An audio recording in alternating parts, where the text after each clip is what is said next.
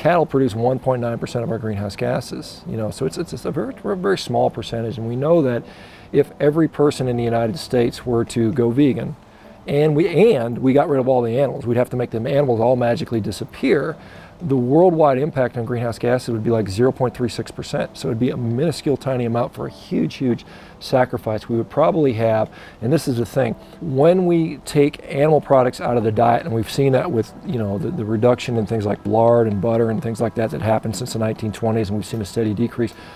Things that replace that are not fruits and vegetables. We see soybean oil and corn oil, and we see, and so what's, what are we trying to replace beef with? Well, again, it's Beyond Meat Burger. It's basically canola oil and some protein isolate from peas and a bunch of artificial flavors and colors and, and, and bamboo cellulose. I mean, it's made out of bamboo. So that is not health food. So, you're, so he's replacing a nutritious, healthy food with processed garbage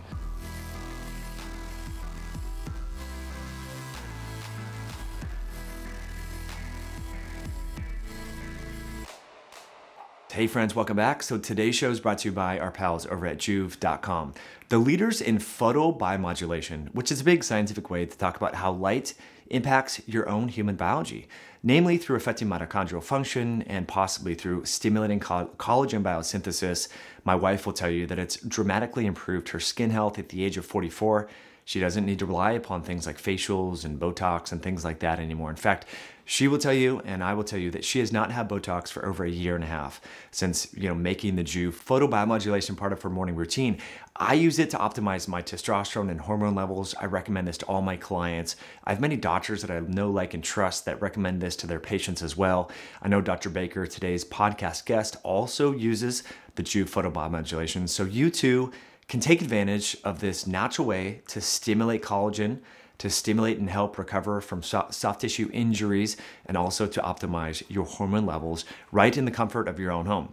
So please visit our show sponsor over at joovv.com. That's J O O V V.com forward slash Mike. You can look at my lab work, my testosterone before and after, and I'll share it with you on that video how I use the device as well. Links are below. Again, that URL, and you can also save on shipping. If you use a promo code HIH at checkout, they have some free swag for you as well over at joovv.com. Now, in today's show with Dr. Baker, I just want to say I want to thank Dr. Baker for all his work. He's been so consistent at helping people better understand how avoiding plant and plant anti nutrients and going on a primarily red meat based diet can improve your health. And I'll just be the first to tell you, and we talked about this on the podcast. When I first heard of this idea, I thought it was the dumbest thing ever.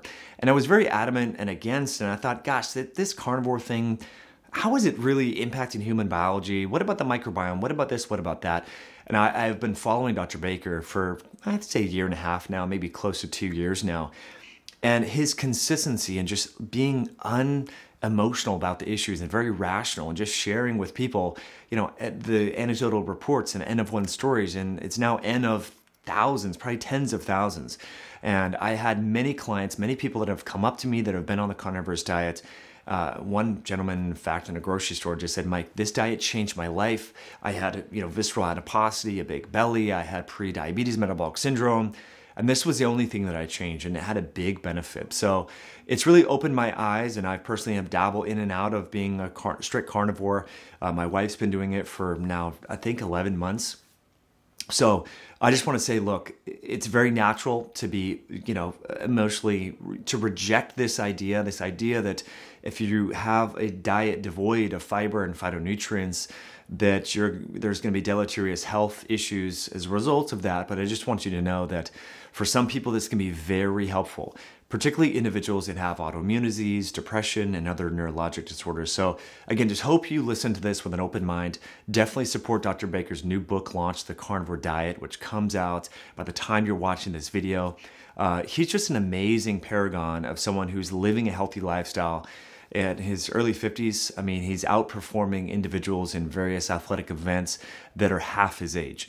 Uh, and, you know, he has his own personal story that he's going to share on this podcast about he, how he lost weight um, going on this diet and how he used to eat, you know, the standard American uh, rec- medical uh, recommended diet, a lot of whole grains, a lot of fiber, and all that, and how that didn't really do him any favors metabolically and and uh, and how going on this you know plant free diet has impacted his health. So I really hope you enjoyed this podcast. If you do, please hit that like button. Definitely subscribe to the channel, and both him and I will be following the comments below. So let's cut to it with Dr. Baker.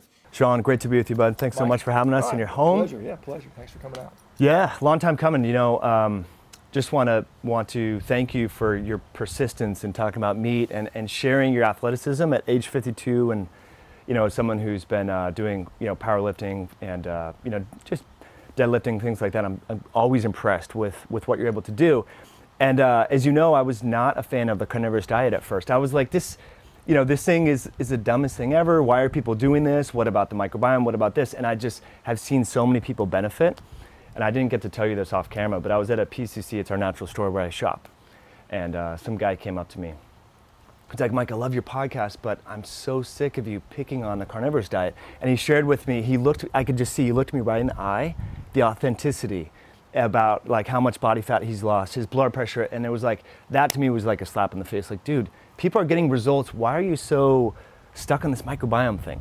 Anyway, so um, I feel kind of silly for like not embracing it initially, but I've been around other people, and I, am not making excuses, but we all have these biases, right? And anyway, so thanks so much for, for just being a constant voice to helping people learn more about like an ancestral diet that we all kind of adhere to. Yeah, Mike. I mean, it's, it's interesting, and, and I would have been the same way five years ago. I mean, if you would have if you would have approached me with the same thing, I would have said, "What are you talking about? That's crazy." But I think that uh, what it is is you just have to at some point you have to sort of look at the results people are getting and say, "Well, something's here, something's yeah. going on, and, and and now it's not, you know, one or two people. It's now tens of thousands of people that are doing this, and they're and by and large they're all getting pretty good results, and I think that's. Uh, uh, exciting. There's people that say that's not interesting we should dismiss it, and I, I just have to say, you know, we have to kind of step outside the, you know, the little boxes that we put ourselves in and think, you know, maybe there's more to it than, or maybe we don't know everything. I think that's a more important thing, to concept to bring up which is a good you know vantage point to come from, right? Because we there's we're constantly learning, and you know if we could maybe start out with the microbiome thing, and I, I had a comment on one of your Instagram posts. Um, you know, uh, a fitness celebrity shared this thing, and you know it's like a meme about your microbiome and you, that your gut bugs are out of here on a on a carnivorous diet, and you know, the, the thing that a lot of people don't realize if they're not in the space is the people that benefit from the carnivorous diet are those that probably have microbiome perturbations to begin with autoimmunity, Crohn's, colitis, depression. So that kind of stirs the, shakes the tree a little bit in that whole narrative. Yeah, I mean, that is, uh, you know, first of all, I think we really don't fully understand the microbiome yet. I mean, as, as most people, even the people that are experts at it, will say we are still very much in the infancy of the science of microbiome. And so I think it's very hard to be prescriptive about it. You know, there may be some observations you can make that these people that are generally healthy, healthy have these type of bacteria. Uh, but I think you have to, if you step back and say people that have a healthy, uh, you know, general good health probably have sufficient or, or appropriate micro, microbiome. And so uh, one of the criticisms is, you know, there's not, not any fiber in a carnivorous diet. And, and while that's true, uh, we know that we can make short chain fatty acids out of amino acids. I mean, that occurs. And so the whole you need fi fiber to make a short chain fatty acid is basically false based on that premise alone. One of the ones that often is talked about is butyrate, and we know that you know one of the major ketone bodies is beta hydroxybutyrate, which reversibly converts to butyrate quite easily actually in the body. And so if you have circulating ketones, those circulating ketones also get to the colonocytes, and you know they get the butyrate. And so it's it's uh, but again, at the end of the day, what is happening to people's gut function on a carnivore diet? And there are people with Crohn's disease, ulcerative colitis, irritable bowel syndrome, celiac disease. They're getting better. And so if, if, if your, you know, if your uh, supposition is a fiber deficient diet is going to make your gut function worse, then these people should all be getting worse, not better, and that's not what we're seeing again. So. Right. They seem to get worse on more fermentable, fiber-based, plant-based foods. Right? Well, I mean, I think that's one of the, the you know rationale behind the, the, FODMAP type diet and stuff. You know, we're trying to eliminate these fermentable type foods, and you know, we know that when the gut is fermenting, it's creating pressure and gas, and that's uncomfortable for a lot of people. And uh, you know, when you don't have that, that doesn't happen. And so, I have not clinically seen. In fact, I've seen people's microbiomes on a carnivore diet you know, there's a fellow that had ulcerative colitis with very low diversity. He went on a carnivore diet, and he went from the third percentile up to the 95th percentile in gut diversity. And so we're seeing, you know, not what they're telling us we'd be seeing because they're not actually testing the carnivore diet. And what I'm really excited about, and I've kind of hinted to this, is there's going to be a major university, and I'll talk to you off camera because we don't want to say who it is yet. Uh, that's going to be, uh, uh, you know, undergoing, uh, you know, some of the initial carnivore diet uh, data. We're going to have something published in some pretty, uh, I think, uh, well-respected journals. So that's going to be exciting. That's okay. So is that going to be a con- like an RCT kind of thing? So right now it's going to be basically an observational type type of thing. We're going to be collecting data on the people that are currently six months or more on the diet, uh, and then from that we'll probably turn that into intervention trials. I see. So just to get a baseline. But you were part of kind of an observational study or, you know, self-reported individuals. There was an app and uh, you were talking about, uh, this was a presentation, I believe in Colorado, and you were talking about the, the stool tests, you know, the, is it the Bristol test? There's something called a Bristol stool score, where it just kind of, it just quantifies or qualifies the, the how your stool is, and it's, theoretically there's you know, it goes one through seven, and three, four, five is supposed to be ideal, and some people say f- a four score is, is a perfect stool, which, you know, it's kind of funny to think about, but that's that's how people classify that. And yeah, we, we tracked that. We tracked a number of objective and subjective measures on people that did a carnivore diet for 90 days. We had something like 100 respondents that filled in data every single day. They reported their data, and so we got. Uh, uh, information, you know, like we looked at the average person lost about uh, 13 kilos in 90 days, which is about oh, about 30 pounds, which is pretty interesting. significant. We saw the average person lost about, you know, it was like eight centimeters off their waist, so we knew they were losing abdominal fat. Their heart resting heart rate went down by about eight beats per minute, which is also you know, arguably a metric of health. Uh, you know, almost across the board, everybody's either got, no one got worse, everybody got either better or significantly better with regards to knee pain, sleep quality, digestive health, uh, skin health, libido, all these things just, just you know, improved. Now, granted, self-reported, self-selected, you know, there's certainly bias in there. You can't, you know, deny that stuff. But, but anyway, that is data. Yeah, good to just get a get a good baseline of like Right, the pulse sure, of what it what it could be doing. Um, but along those lines, I think you know there are biometric biomarkers. We see this with people that go keto that kind of change. For example, LDL cholesterol, uh, glucose. There's more fluctuations there. Um, you know, I, I, I feel like the carnivorous diet and the, the ketogenic diet, you know, biomarker, it, it's causing us to maybe rethink what's normal for some people that are doing these different dietary strategies and.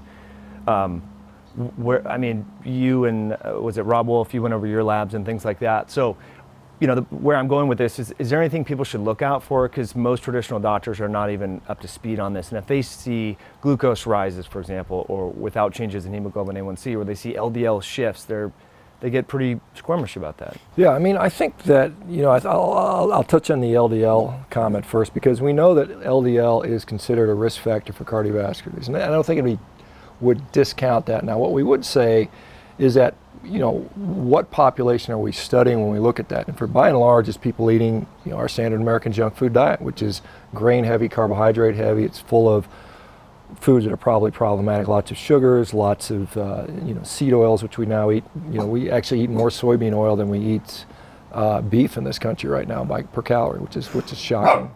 Um, we have uh, That's fine.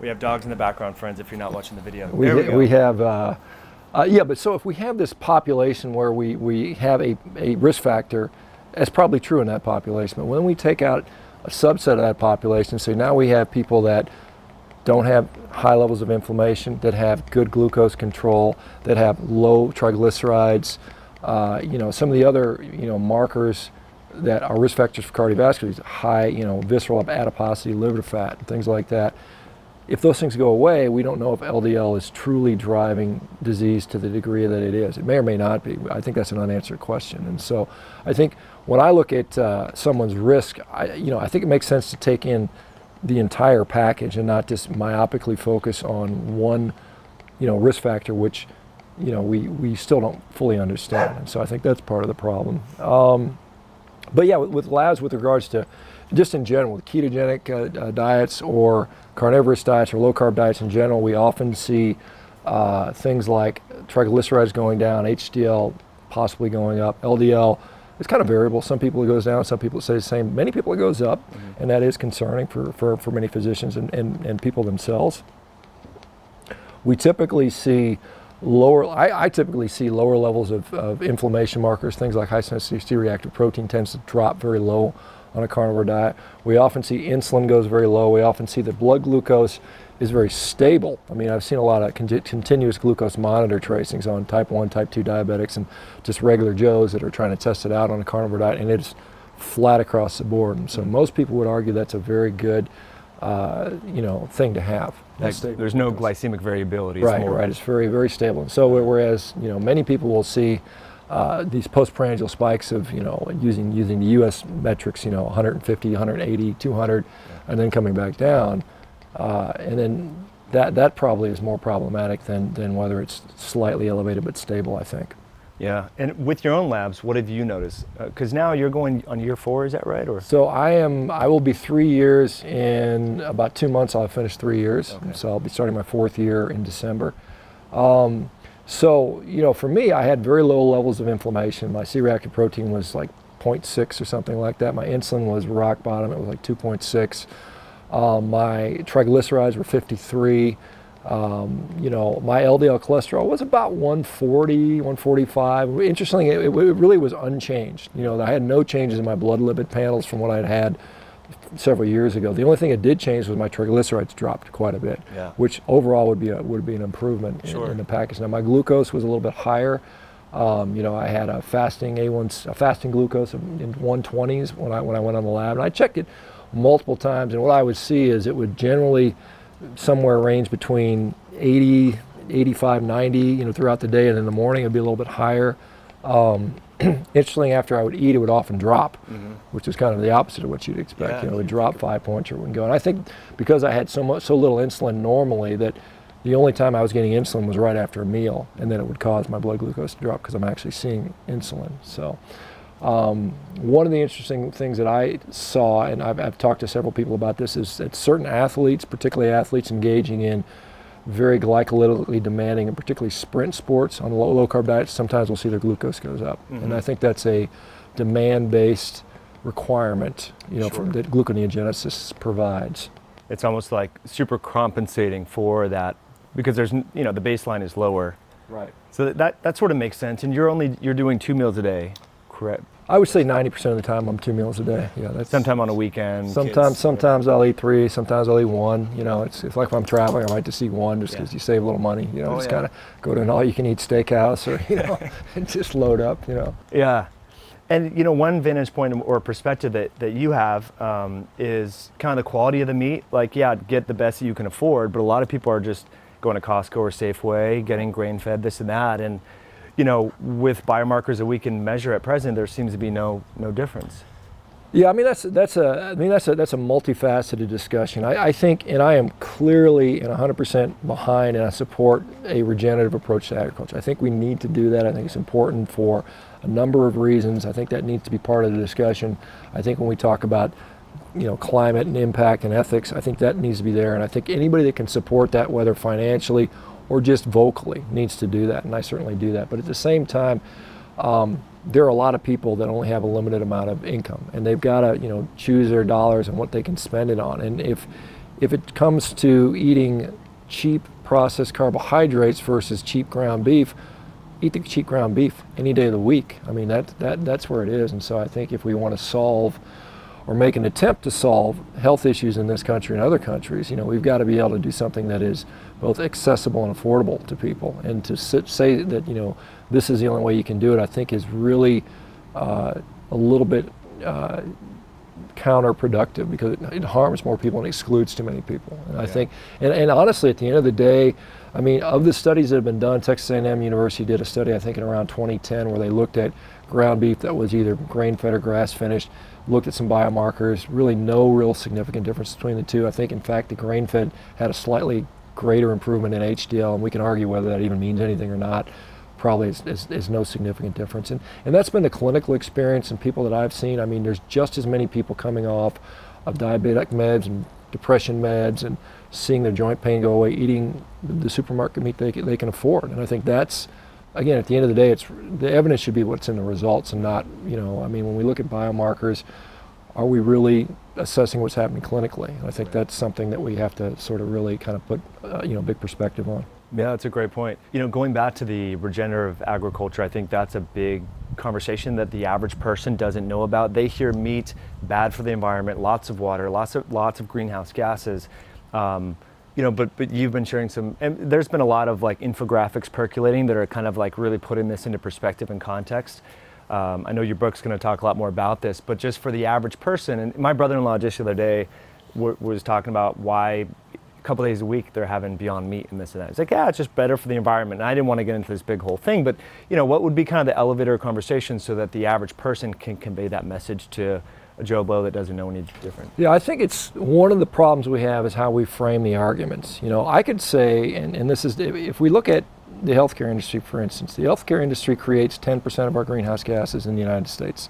So sick people by proxy create more greenhouse gases. You know, we can we could say that. So if you go on a diet, and I would argue a meat-based diet, meat-based diet is very healthy, and you create less sick people, you're actually decreasing the amount of greenhouse gases that are produced. Now, if we compare the 10% of greenhouse gases that are elicited from from healthcare, Uh, in contrast, in the United States, and this is where you have to understand, we have to we have to we have to focus on our actual local region and what we can impact cattle produce 1.9% of our greenhouse gases. You know, so it's, it's, a very, a very small percentage. And we know that if every person in the United States were to go vegan, and we and we got rid of all the animals, we'd have to make the animals all magically disappear the worldwide impact on greenhouse gases would be like 0.36%. So it'd be a minuscule tiny amount for a huge, huge sacrifice. We would probably have, and this is the thing, when we take animal products out of the diet, and we've seen that with, you know, the, the reduction in things like lard and butter and things like that that happened since the 1920s, and we've seen a steady decrease. Things that replace that are not fruits and vegetables, we see soybean oil and corn oil, and we see, and so what's what are we trying to replace beef with?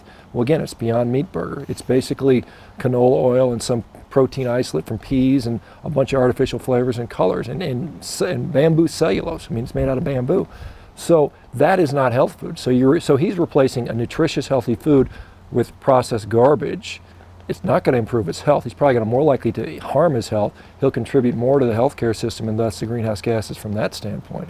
So I mean, it's it's very uh, misleading, and, and it's how you frame it. You know, we frame it just on agriculture greenhouse gases, and again, the other thing they look at is they look at it on a per caloric uh, yield, and so they say, well, we can get more calories from soybeans and corn and, and things like that than we can from beef, and that's true. The problem is the calories you get from soybeans and, and, and corn and whatnot are not anywhere near as nourishing as what you can get from, from things like beef, which are much higher, uh, you know, higher quality protein. We have, you know, essential amino acids like lysine, which are very difficult to get from plant-based sources. So you'd end up, in fact, Don Layman did a did a uh, calculation on this, and they, they they put this in a paper, and they said we could feed approximately 25% more calories to the world by going plant-based, but we would have critical zinc, lysine, and iron deficiencies. And so you would have a population that may have more calories, it's probably fatter, mm-hmm. but they would also have nutrient deficiencies. And so it depends on how you, fr- again, it's your frame of reference and how you frame the talk. And so when we let people say it's all about calories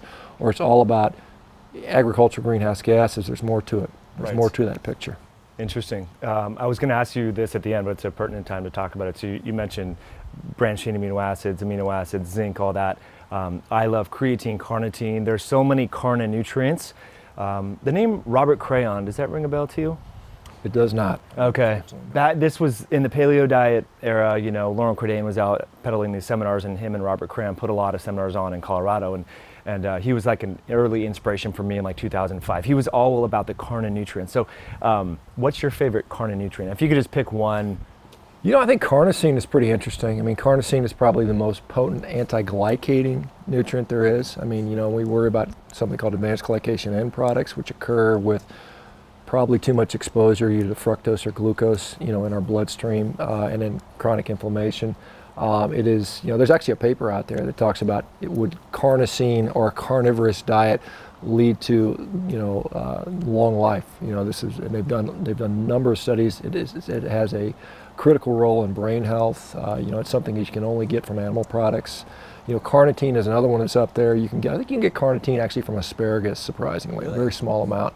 But uh, carnitine is interesting. But carnosine, carnitine, I think are uh, extremely uh, valuable nutrients. We know that people that have, there's a recent study looking at major depressive disorder, and we saw that people that had major depressive disorder all had low levels of carnitine.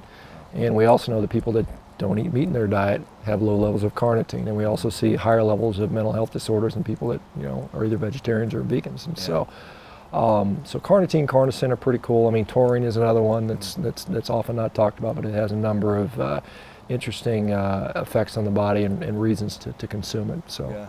CoQ10. CoQ10, yeah, so that's, that's common in heart. So a lot of people like to eat yeah, yeah, eat heart. They, they, they, they, they, get CoQ10, but yeah. yeah, yeah. There's another. There's a whole bunch of things that we they may not necessarily be essential, and some people call them conditionally essential, uh, but at the same time, they do have a benefit. They have a significant benefit, and we're not eating them. I think we're, you know, probably uh, losing out on a few things. Totally. Yeah, I'm with you. I love taurine. Love talking about taurine, creatine, carnitine. I mean, all these things are they're super exciting.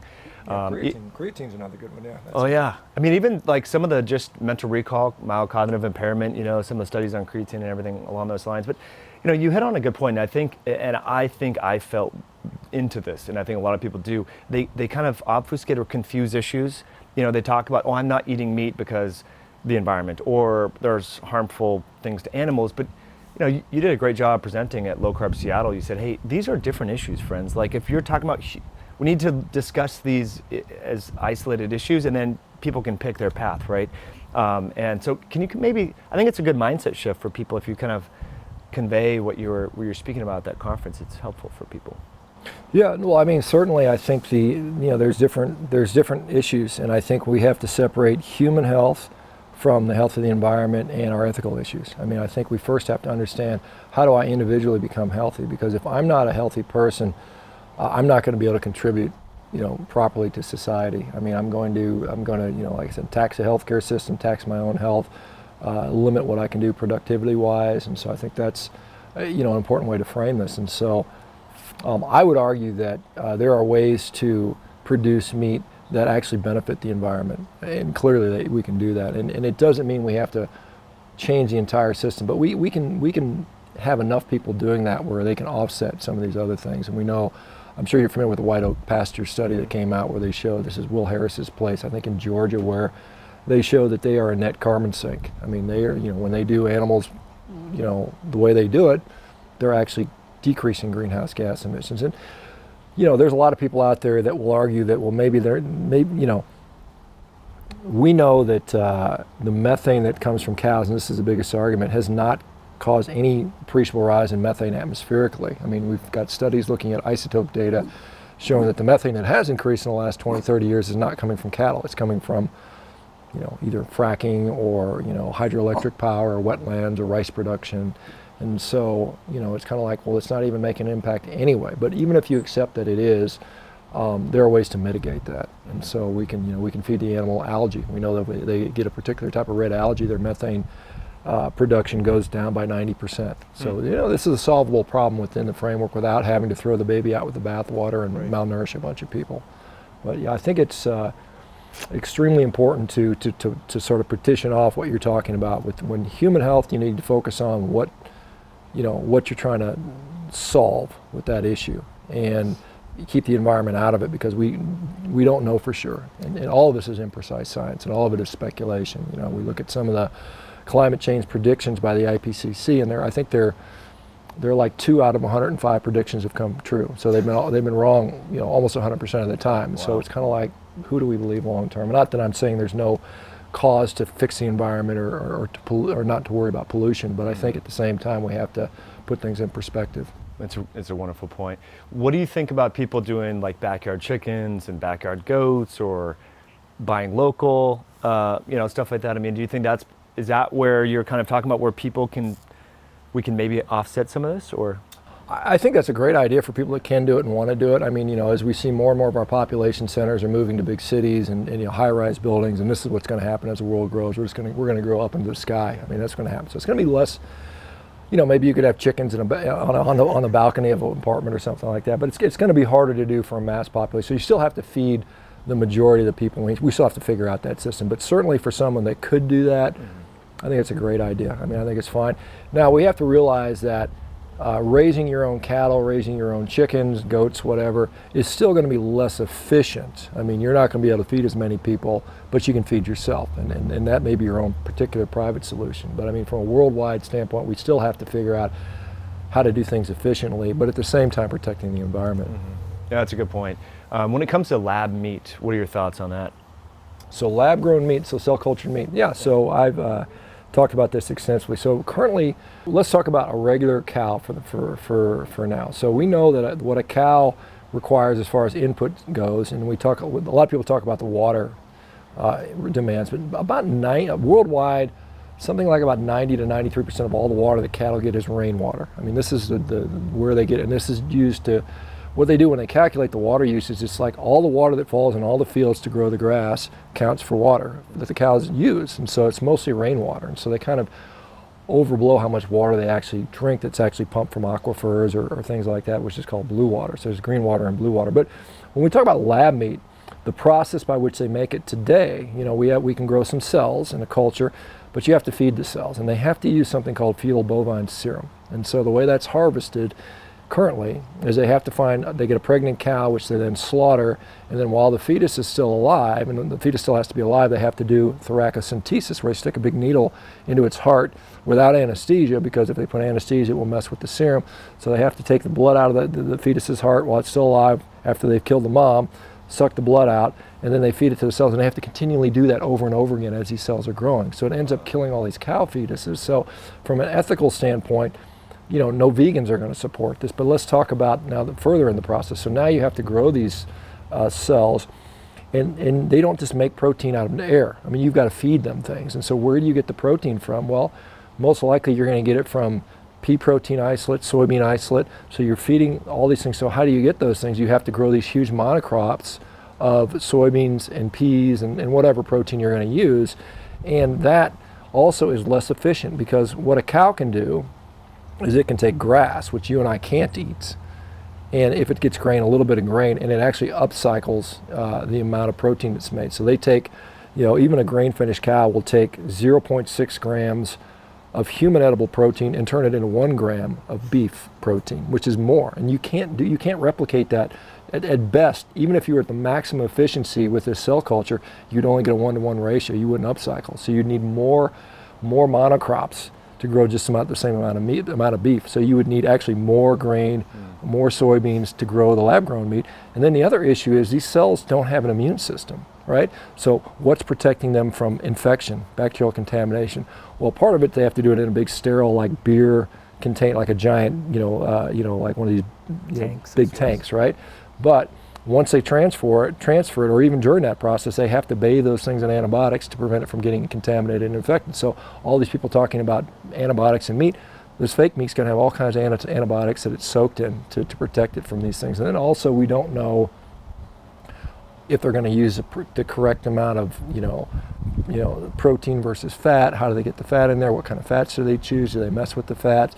These cells are immortal cells. You know, we have breast cancer cells going back to the 1960s that have been growing and growing and growing and growing and possibly, you know, mutating. And they've, they've kept these immortal cell lines. And this is what these would be. These would basically be immortal, cancer-esque type cells that we'd be feeding people. And so that's, to me, and then also, you know, remember, we've got to, remember, we've got to grow, we've got to put all the inputs into growing the, the soybean and the corn and you know what and the glucose and all the other stuff that we're feeding these cells. And then we have to use the fossil fuels to process it and turn it into isolate. Then we have to transfer it to the to the plants and then we have to run the plants. And so it's probably a net negative when it comes to carbon dioxide you know output because you know where cows are putting out methane which is recyclable in the atmosphere these things are putting out pure CO2 and the cows. Remember cows are largely solar powered.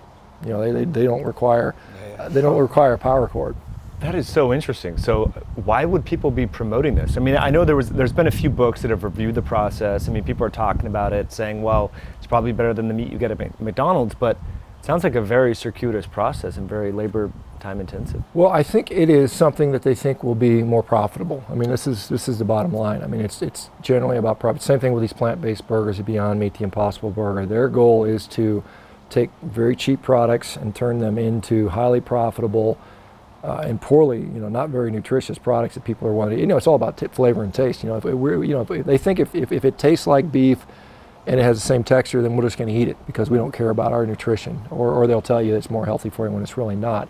But I think the same thing with the cell, cell meat. It's just uh, people trying to carve out a niche so they can make money. And it's, you know, I mean, they'll, they'll try to greenwash it or try to put an environmentally friendly label on that. But if you truly look at the process, you know, it's arguable, it's debatable. In fact, there's been reports saying that the lab grown meat is not going to be environmentally more friendly than growing beef.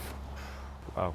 I, I mean, are people trying to push this? I haven't seen. I know it's it's really in the primitive stages. Yeah. Uh, yeah, there's several companies. Memphis Meats is one. There's there's there's four or five other companies I think that are doing. It. They've got a lot of money. They've got a lot of uh, investment. Uh, you know, from a startup investment to do that. There's millions of dollars poured into this. They, I mean, they see the alternative protein. Uh, sector. sector as a hundred billion dollar industry, and it will be. And it's just because you know people are going to going to eat it now. It's not going to help them, and uh, arguably it'll make them you know sicker but that's yeah. but that's besides the point you know it's always been that way it's crazy i mean for people that live on the coast you know california new york you probably don't they probably haven't seen the monocropping but i used to work in illinois uh, chicago area midwest and, and you drive down in these rural areas and you see corn as far as the eye can see and I mean, you talk about the environmental destruction, what what that's doing to, to the soil microbiome and all this. I mean, it's really we, we don't hear that side of the conversation. Yeah, I mean, there's some people talking. There's a number of people talking about, it, but you know, there's some people that estimate we have you know 60 years left of soil, and then we're we're done. You know, we run out of food, and so we have to. Uh, do something to regenerate our soil. And, and, and, clearly, running corn and soybeans on the land year after year after year is not doing it. In fact, it's depleting the soil. There's some people that are doing a better job with that, but in general, that is why, you know, particularly grazing animals are so critical to the environment, to, to restoring the soil. And, and that is a, you know, that is something like, you know, if we, if we kick the, the, the, you know kick the can down the down the street for another 20 years, we're going to run into that issue. And so it's not being long-sighted enough. And I think that uh, you know the soil health is something that guys, guys like Allan Savory and other people talk talk about. I've talked to Allan about that, and it's uh, you know it's another it's another issue. It's not as as exciting because I think you know there's people that just, they think that by not eating animals or, or, or pretending their animals not being harmed because animals are always being killed no matter what you do. Right. You know, no matter what diet you have, there's going to be millions and billions of animals that are killed, and people are sort of they've got this feel-good notion that this cute little dog or cow or pig didn't have to die to feed me. But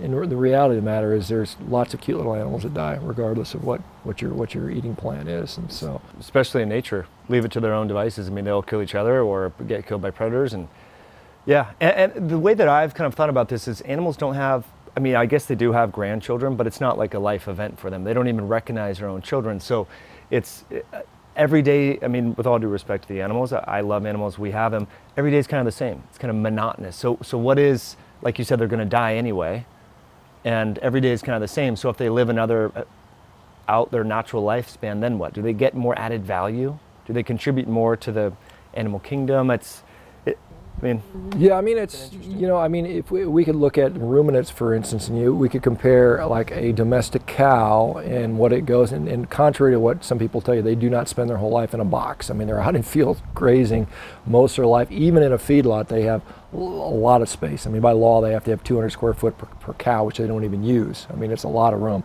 Uh, but and they live and, and, about you know looking at stats from the cattle industry you know about 96% of cattle that are born will, will reach adulthood. Now if we look at it if we compare that to a wild ruminant like like the white-tailed deer population in the united states which would be one of our more common wild ruminants 50% of those animals don't make it to 12 weeks and almost all of them that are killed are, are usually eaten by a predator and, and not a very pleasant way or they freeze to death or they starve to death. And so that's very much in contrast. And so the people that say they have they, they speak for the animals you know if you were to ask an animal would you would you like to be eaten alive while you're six weeks old or would you like to live to two years of age mm-hmm. you know and be fed every day and protected you know? And it's kind of like you know what would they what would they choose?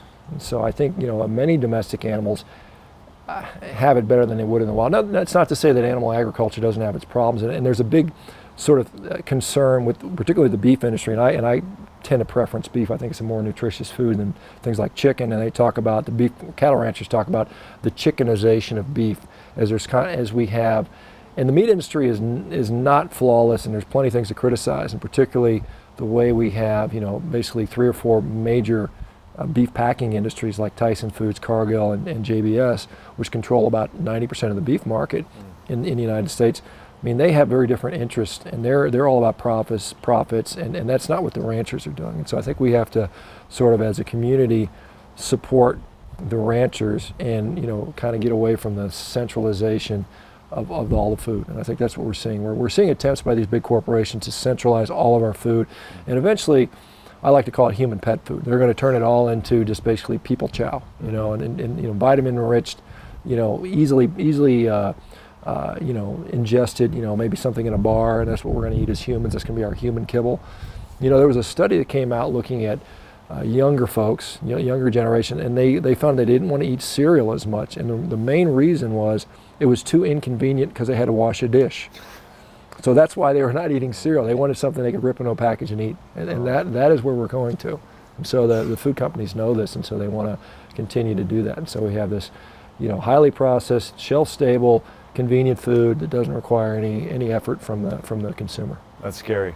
Scary world. So getting back to the chickenization of the beef industry, I think that's an interesting way to look at it. So as I understand it, chicken farmers, they kind of lease their land, they manage it, they sell all the chickens to big processing. Is that kind of what small ranchers are being kind of forced to do? Is that what you're saying? If we look at the beef industry in the United States, you know, there's 750,000 cattle ranchers approximately. Most of them are small heads, 40, 50 cattle. I mean, they're, they're not like giant, giant, giant places. And what they do is, you know, a small percentage of them will do regenerative style agriculture. Some will be direct to consumer, some are grass finish. The majority of them will ship their cattle to a feedlot. Uh, and often it's in the Midwest, and so there's transportation because you know they, they ship it to where we grow the grain. So most of the grain is Kansas, you know, uh, Nebraska, Iowa, uh, you know, Colorado, and so the cattle are shipped over there, and and that's kind of the, the current process. And so it's true that most of the most of the cattle in the United States, probably 90 5% are actually finished on a feedlot. And that's, and that's just the reality of it. And there's, I mean, there's reasons that occurs. Uh, you know, there, there's, there's significant efficiency in doing it that way. You know, to the cattle industry's credit, uh, you know, we used to have way more cattle in the U.S. 1970, we had about 130 million cattle. Now we have 90 million. So we've dropped our cattle industry by about 40%, our cattle population. Despite doing that, we produce more beef we, we use less. We produce less methane, use less water, and use less feed. And so they have responded that way. And so if we look at, you know, the numbers are down by about 30% across the board on everything. So there's been, you know, it's, it's one of the few industries that's actually had a positive role, whereas oil and gas and some of these other companies have just continued to see their you know emissions go up for the most part. So uh, I think they'll do what you ask them to. And if we if we as com- consumers demand we want regenerative style stuff, and there's incentives to do that. And so when I see the polit- politicians out there talking about we're going to tax meat, I think the better thing is we should reward and, and incentivize guys to do regenerative stuff because when you tax meat, all you end up doing is is uh, harming poor people They can't afford it, and, and they won't just they won't buy it, and that's going to be a shame. And what it does is it'll drive the small farmer out of business because they won't be able to absorb the, the, the increased costs. And so, you know, the unintended consequence that'll be poor people that can't eat as much nourishing food, small cattle ranchers out of business. We further centralize the food supply, and we further make the population sicker. Mm. Yeah, that's, that's which is not good. Um, now, why the ribeye? Obviously, it tastes amazing, right? But you've been a huge promoter of you know, I don't even know that. Gosh, I mean, when I used to go to the store, you know, I was doing a lot of like bodybuilding type stuff. It was uh, top sirloin, London broil, stuff like that. And then now ribeyes are everywhere. You single-handedly like that cut of meat is.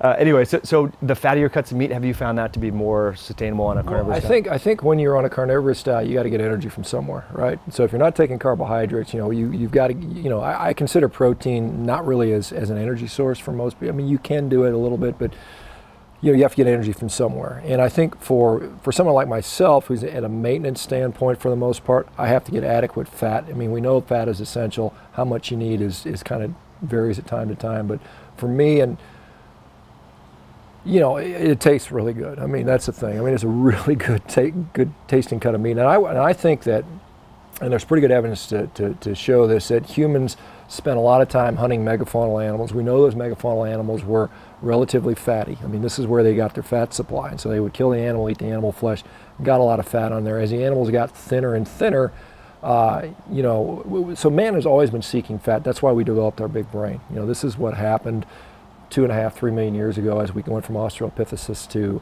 uh, you know, Homo habilis, and then Homo ergaster, and Homo erectus, and Homo heidelbergensis, and Neanderthals, and so on and so forth, and finally Homo sapiens. Uh, not necessarily in that order; they all kind of interbred.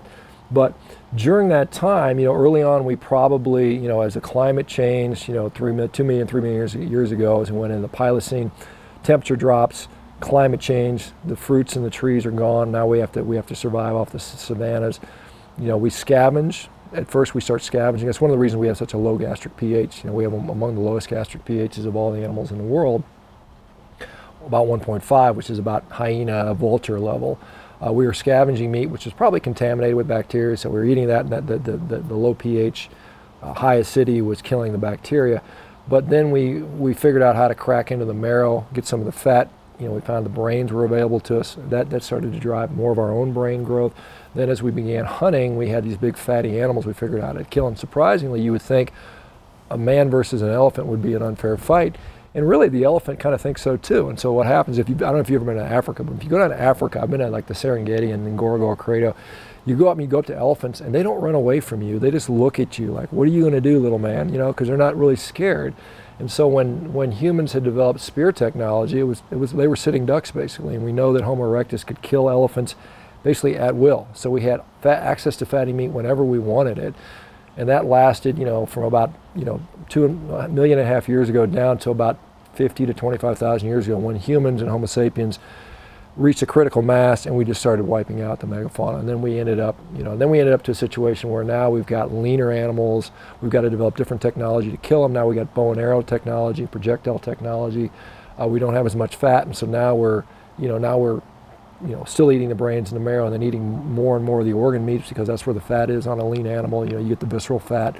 And then we're including more carbohydrates in plants. And this is what kind of happens. And so I think if we go back far enough, I think we see that humans probably subsisted largely on fatty meat. That was our energy supply. And then I think the problem is what's a wild human look like? And I would say, I would argue it's not a bodybuilder, it's not a fitness competitor. And so when you want to do that as a bodybuilder, you're going to, you're going to intentionally eat lean protein, and, and, and relatively low calorie, low fat, or low carb, and that's going to get you leaner.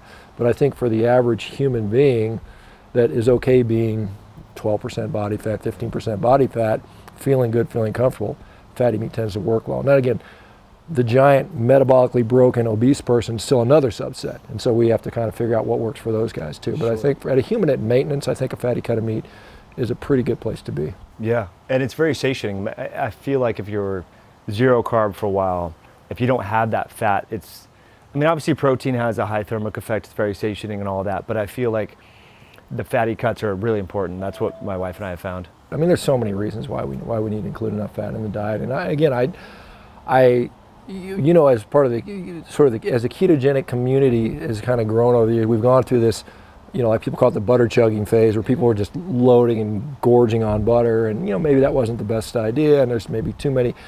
Uh, you know, I know there's this sort of thing about do calories count or not, and, and I think we would both say that yes, calories have an effect. We have to we have to understand that, but they're not the whole picture. There's other things that go on. There's and there's things that you know appetite plays a role. Obviously, you know it's if if if I am full after eating 2,000 calories of steak and I'm good, that's fine. But you know it may take me 2,800 calories of junk food to get me full. Right. And so it's kind of a you know it's kind of a different uh, you know different perspective there. Yeah, are you tracking macros or have you in the last couple years? I've never tracked anything. I mean, I, you know, I, I track my performance. Yeah. You know, things that matter that actually matter to me that I that I care about at the end of the day. I mean, so, you know, if, if I want to, like, say I want to get really lean, then I know I just eat leaner meat. I mean, that, that that's just the way. Right, I might eat a little bit less, and I mean that works well for me.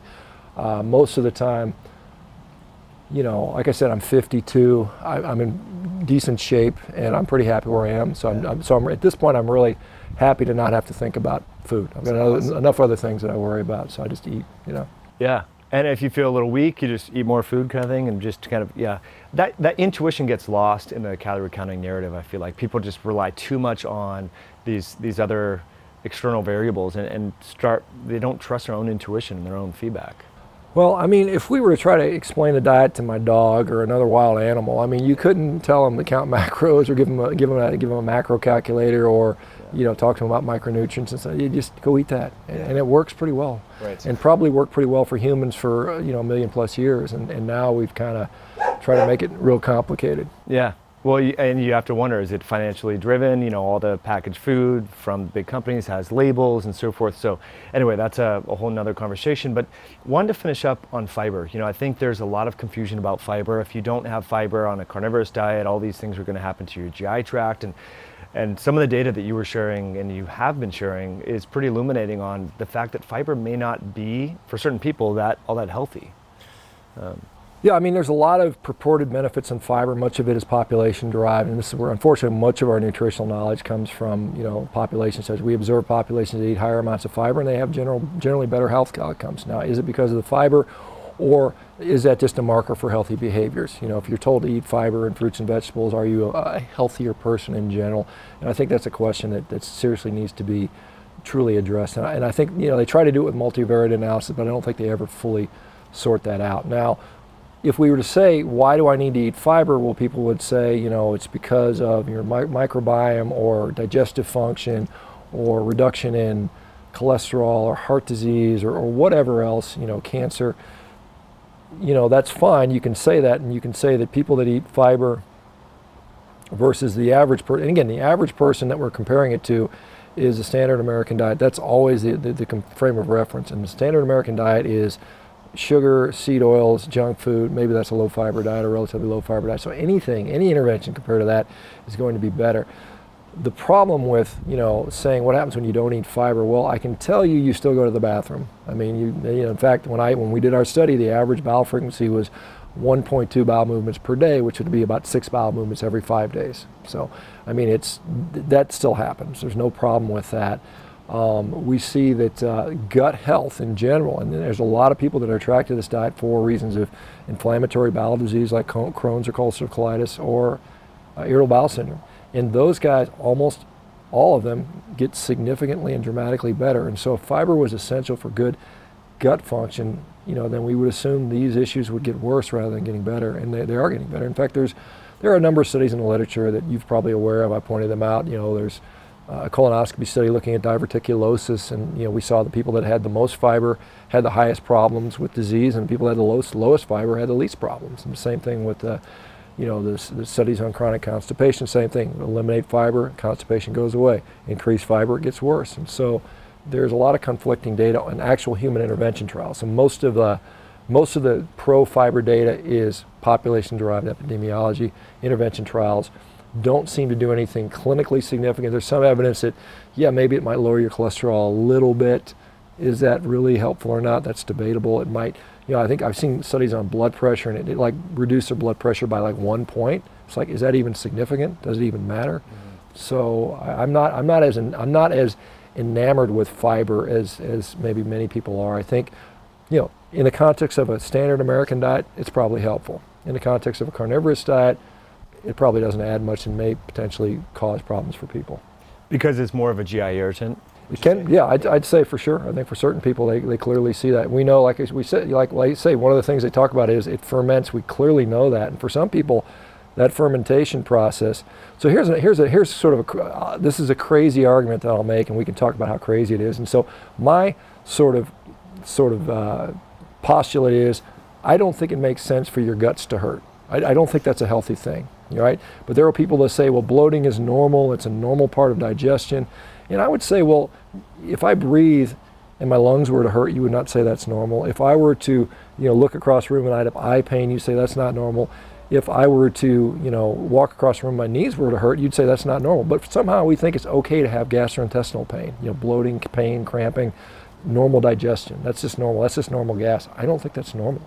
And we know that eating a bunch of fiber for many people causes that issue. And I think if, if, your if, your if your intestines hurt, stomach, lower intestines, whatever, then there is either a problem with what you're eating or there's a problem with the actual digestive system itself. And so you have to figure that out. It shouldn't yeah. hurt. You shouldn't even you shouldn't even have to think about digestion. I mean, I when I eat, I don't even know I've eaten basically. I mean, there's no there's almost no, no there's almost no sensation whatsoever that I can feel going on. I mean, I can go out and you know eat a two pound steak and then 20 minutes later I can go out and run and jump and do things. So. Yeah.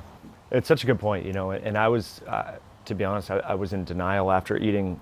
Cause we we have a big garden, and um, at the peak of me eating a bunch of vegetables, man, I would have so much GI pain and all this. And and I thought I had uh, I had these lumps in my stomach. I'd feel like, and it was just probably just a, a, big bolus of fibrous compounds. And so I went and ran a bunch of tests, and my alpha fetoprotein was through the roof, and it chased me down this rabbit hole of three years. But anyway, um, but yeah, so I don't have to. You don't have to. At least me personally, my wife, other clients that we've you know introduced this to, thanks to you and other folks like Amber O'Hearn, um, the, the GI issues have basically gone away. So anyway, I think it's important, you know, to hear your perspective on that, and then that kind of gets into the absolute versus relative risk. And I think the average person does they see the headlines in Scientific Daily or whatever, Science Daily, New York Times. They they don't differentiate, you know, uh, uh, the relative risk, how the the clinical or the significance of that, what that means for someone's health. Yeah, that's a good point. This and this is a funny funny thing that I saw the other day. So recently there was a there was a headline saying that uh, you know vegan and vegetarian diets increase the risk of hemorrhagic stroke by about 20%. And you'd see that headline you say, oh my gosh, don't go vegan, don't go plant-based, I'm gonna bleed out in my brain. But the funny thing that I haven't seen before was CNN basically then introduced the absolute risk. And then they said that means that about three out of a thousand people will experience effects. So you say, oh, that doesn't really matter, right? But they fail to do that same comparison when they talk about red meat and cancer. And so let's let's go back to uh, the World Health Organization's proclamation in 2015 that red meat red meat is a class 2A carcinogen, probable carcinogen. 17% relative risk, and then processed meat 18%, and they classify they class it as a class one. So, what does that mean with terms of absolute risk? So, if we know the lifetime risk of you and I getting colorectal cancer, and colorectal cancer is one of the leading cancers in the world. It's like two or three, depending on which which data you look at. Um, it's 4% or 4.5%. And so if you were to add meat to that diet, it would increase that risk from 4.5% to about 5.3%. So you're like, it's less than a 1% difference, you know? And, so the question is, there are a lot of things that could change at 1%. And we know that uh, if we just, again, if we focus myopically on one variable, you know, and say, okay, if I eat meat, I've raised my risk, my absolute risk by 1%, or my relative risk by 17%, I could say, well, what else could I do that would change my cancer risk? Well, you could lose weight. You could stop having a big beer belly and, and, and visceral fat. That's going to change your absolute, your, I'm see your relative risk by about 300%, or 400, or 500, or 600%, depending on which study you lose. You, you read, if you can improve your insulin status, it's another couple hundred percent. If you can uh, get rid of chronic inflammation, that's another couple hundred percent. If you can get rid of IBD, inflammatory bowel disease, it's like 3,000 percent increase in risk for cancer if you have ulcerative colitis or Crohn's disease. And the people that are getting rid of ulcerative colitis and Crohn's disease, they're seeing an actual risk reduction of, of, of that much, which is very significant. So yeah, I mean, the difference is whenever you see a headline that says your risk went up by 20% or 30%, generally you should ignore it unless it says 200%, 300%, 400, 400, 500% because it's really not even worth even considering. And so they've, because they want to generate headlines and want to continue to get research dollars, we somehow attribute these tiny absolute risk increases as something that's significant when it's truly not. You know, same thing we see that with like the some of the drug companies where they'll tell you that taking this statin will lower your risk for cardiovascular disease by 35% when it's actually like a you know, a 0.7% reduction in, in a, absolute risk, which is like, it's meaningless. It really is. A lot of people don't know that. I mean, I got a master's degree in nutrition, and we didn't really talk much about that, the differentiation between relative versus absolute risk. And as you were talking about there, a thought came to mind, uh, a colonoscopy. Have you had one recently or since going? I have not had one. Um, you know, I'm, I'm kind of mixed on whether that's beneficial or not. I think there's a lot of people that are concerned about you know, is that is that more harm than good? Uh, I might maybe I'll get a virtual one at some point. Mm. My father, interestingly, I put him on a carnivore diet about two and a half years ago, and he actually had colorectal cancer. He had part of his colon resected uh, before this, and so he went on it afterwards, and has had a couple of follow-up colonoscopies since being on a carnivore diet, and it's been perfect, perfectly wow. clear. So, uh, and I've seen a number of people that you know, it's kind of interesting. I've seen a number of people that have had uh, things like diverticulitis, and they've gone on a carnivore diet, and they come back, and, and that's gone.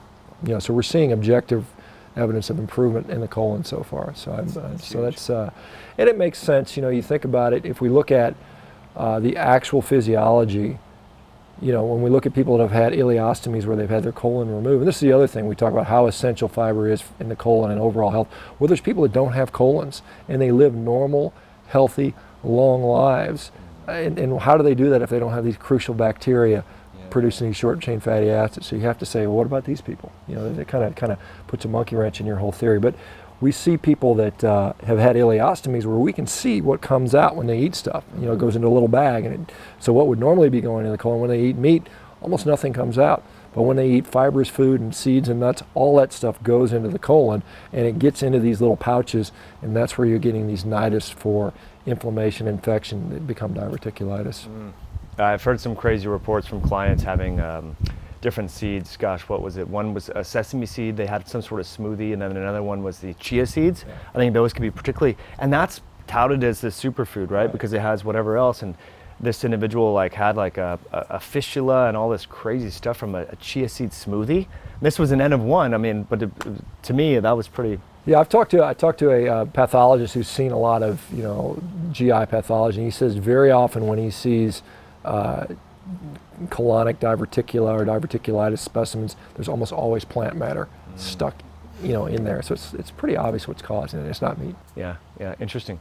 Um, so just to get finished up on some personal questions, do you feel like you have a calling? I mean, you're so passionate about this topic, you know, and um, I mean, you, are like the perfect person, right? Very physically fit, good kind of poster child, if you will, to help people realize that hey, this isn't going to kill you, cause cancer, harm your performance, and all this. I mean, deep down, because you're, you're sharing a lot of content, which is great, right? And you're writing this book that comes out when people will watch this. Do you feel like a calling or something? Like you feel like? Well, I, I think it's something that is deeply rewarding to me to do. I mean, as a, as you know, almost two decades as a surgeon, I helped a lot of people. I mean, I you know, I fixed people's knees. I saved some people's lives when I was in, you know, in, in doing combat trauma surgery in Afghanistan. And certainly I was making an impact. But you know, since I've been doing this, I, I feel like I reach more people. I have more overall effect on people's lives. You know, I would I would see someone with you know a bad knee, you know, and I would replace their knee, and they would they would thank me and say, hey, my knee feels better. And then two years later, they come in, their other knee would be messed up. And really, what I should have done was given them the power to prevent the need for the other surgery. And now I think what I'm seeing is we're able to do that. You know, not for everybody, but for many people, uh, we're seeing. Uh, you know, people come in and they're like they needed surgery or they thought they needed surgery and then they change their lifestyle, diet included, and they don't need that anymore, and, and they've kind of regained their life. And so that's that's what really drives me to do this. Um, I think that. Uh, you know, in general, our healthcare system, which used to be, you know, we used to call it the art of medicine, it's really dissolved, sort of devolved into uh, what I call the disease management industry. And it's really, it's, it's a business and it's all about managing symptoms, managing disease, and we're doing it with really expensive band-aids and I think we have to get away from that. I think we really care about the health of our nation, nation and the future of our, you know, our children and our grandchildren. We, we've got to, you know, we can't just keep pouring more money into that system and trying to fix what, what ultimately is a broken system. It's not to say there's not any benefit for the healthcare system, but much of it is not doing what it's supposed to do. And I think, I think fortunately, through you know, social media and other other outlets, we have the tools to impact a lot of people and change a lot of people's minds and really make a difference. And I think we, I think we both are. I mean, I yeah. think we're making huge differences in people's lives. And you know, I've got a buddy who's a surgeon that listens to your show and he says, I, I, love it. I've learned so much from him. And you know, again, as a physician, you know, a lot of us put a lot of faith in physicians, thinking we know everything about health, and we know our specialty, but there's a lot we don't know, sure. and, and, it's something we, we can learn from from our patients and other people, and, and it's fun to be part of that. Yeah, I mean, you bring up a lot of good points, and I think a lot of people focus so much on access to healthcare, but not about revamping the system, like you were just talking about. So, okay, you add more access, but if the system is not really getting at what's going on, how does that really help matters? I mean, I, I understand, you know, if people have pre-existing conditions and this and that, and they're getting denied, okay, more access is better, but yeah. Well, I mean, the, the whole access question, you know, I can tell you a lot of physicians are burned out. They're, they're, they, they, they, don't, they don't even want to see more patients. It's not they don't want to help people. They just, they're just stressed out with the volume they have to see, and the system just kind of it's, it's like a yeah you're on a, you're a hamster on a wheel, just turning, turning, turning, turning, trying to generate you know revenue for the hospital or the or the medical practice, you know doing the administrative stuff, the, the coding and the insurance stuff, and so it's it's very much you know you can only stuff so many people into that system and get quality care, and I think. The problem is, again, we're just putting we're just putting band-aids on people. They come in, get a band-aid, see you in a year, put another band-aid on you, and we really have to we really have to we really just have to stop creating so many sick people mm-hmm. i mean that is the ultimate solution and that, that goes with prevention and i think unfortunately uh, prevention has not been incentivized. There's no incentive for a healthcare provider to do much prevention, and, and people don't want to pay for it either, and that's that's the problem. And I think hopefully we can we can turn this around with different, uh, you know, just by showing the outcomes and maybe convincing large employers to say, hey, look, instead of sending you down to the local hospital, let's send you down to these guys to do prevention, mm-hmm. and, and, and maybe we can avoid you losing you know losing downtime to work and being sick all the time and you know not being productive. Yeah, that's a great point. Um, how do you deal with the haters? Because you've had some crazy threats, man. I can't even believe some of the stuff. And, uh, you know, I get some of that stuff on YouTube too and everything like that. And uh, we can say, oh, it doesn't get to it. But sometimes you read it and it just pisses you off. So, I mean, how, what do you, how do you deal with that? Well, I mean, you know, I mean, first of all, you realize it's, it's just words. You know, it's kind of the old six and stones may break my, my bones, but names will never hurt me thing you used to recite when you were a kid. But I mean, yeah, like I said, I've been through some pretty tough times in my life, actual physically, you know, demanding and challenging things. So most of the word stuff, you know, uh, you know, ultimately it's who cares. I mean, sometimes, you know, sometimes I turn it around and just make fun of it, and you know, and, and that and that drives interest. And, and you know, it's kind of funny. I've got you know, and know, obviously a lot of people that disagree with me tend to you know have a vegan diet or you know they they're, they're sort of bought up into that sort of ethical belief, and they think I'm the worst person in the world because I tell people that you should eat meat or more meat. And so, some, but many of those people, funnily enough, will say, you know, I hated you for a year and now I totally support you. And so it's just kind of continually just, you know, sort of pushing out the message. Ultimately, I think the results are going to speak for themselves. Um, you know, I fully realize I got to take a few arrows to, to make progress. That's that's anybody that anybody that's any anybody that's in the least bit controversial is going to have haters, and that's that's just part of uh, uh, the way society is today. And so I don't I don't really get too bothered by it. And you know I've got plenty of good healthy outlets like exercise and right. you know family and stuff like that that make that stuff kind of a minor point. Do you kind of do you limit your phone use or do you have boundaries around it? Because you know you got the book, you got you're working on a lot of great projects that are going to impact a lot of people. Um, how do you how do you manage your social media time? Yeah, I mean, so it's honestly, I probably should limit it more than I do. I mean, we probably all should. I mean, you know, it's it's kind of. Uh, I do try to, you know, dinner time, you know, no phone, you know, spend time with my kids. I try to, you know, no, no, no phone around. I try to, um, you know, try to be as efficient as I can when I when I'm there. And you know, like I said, I, I definitely have times where there's none of it. Like when I'm exercising, I don't want to, you know, I don't want to do that. And so it's it's. Uh, uh, but yeah, it's definitely something that you know, as hopefully more and more goes on autopilot, you know, because a lot of it's been, I mean, it's been a one-man show for a long time, and you know, it gets, you just kind of you can't keep up. And you know, at some point, uh, fortunately, there's been some wonder people, wonderful people in the, in the, in the community that believe in what I'm doing and have been helped by it.